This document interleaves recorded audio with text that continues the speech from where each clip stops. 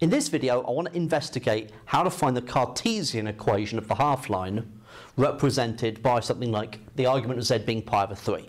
Okay, so let's draw it. So real axis, imaginary axis, pi over 3, something like this. So that angle's pi over 3, and we're not including the origin. Okay, now we know that the angle uh, we know the angle that it makes with the horizontal being pi over 3.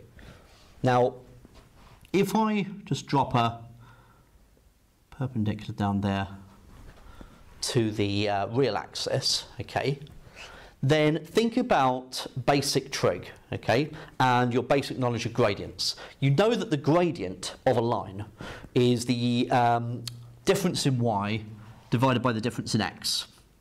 Now, for your right angle triangle, this is the opposite over the adjacent. Okay? Now, the opposite of the adjacent you understand to be tan, tan of the angle. So the gradient of your line is equal to tan of the angle because that is the opposite over the adjacent. Okay?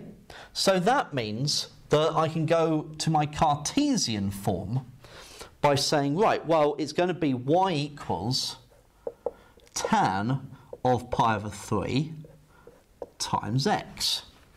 Okay, so tan of pi over 3 is root 3, so y equals root 3x is the Cartesian form that I am interested in. Now, if you were to change this up to the argument of z take away uh, 2 plus 7i is equal to pi over 3. Okay, what's the Cartesian form for that? Well, what you now understand it to be is I know that the gradient's going to be root 3. So I just need to think, well, it's y take away y1. Now I know that it's start, it's going through um, 2 minus 7.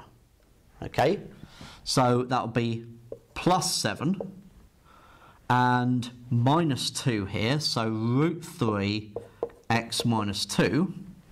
And so that is the Cartesian equation of the line. And if you want to give it in um, uh, y equals mx plus c form, so it'd be y equals root 3x, uh, take away 2 root 3, take away 7. Okay? And so that would be the Cartesian form of your uh, half line. Now, obviously, this is not, because it's a half line, that means that uh, the domain is restricted. So for this one, you'd be saying, well, x is greater than 0, right? Okay.